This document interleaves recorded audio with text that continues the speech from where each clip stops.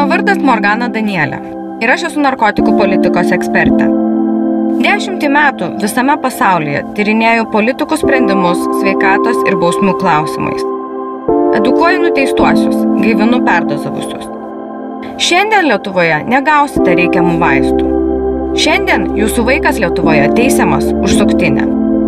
Šiandien savo pinigus investuojame į kalėjimus, o ne į gydimą ir pagalbą. Politikų sprendimai pasmerkia žmonės mirčiai. Tačiau mokslo grista politika padeda įveikti ligas, mažinti smurtą ir skurdą. Lietuva turi tapti vakarietiška. Turime išsilaisvinti iš bausmių, baudų ir prievartos politikos. Baudžiamasis kodeksas už suktinę, masinis nusikaltusių įkalinimas tik gilina socialinės ir ekonominės problemas, užuot jas sprendę. Daugybę valdiškų funkcijų gali efektyviau atlikti nevyriausybinės organizacijos.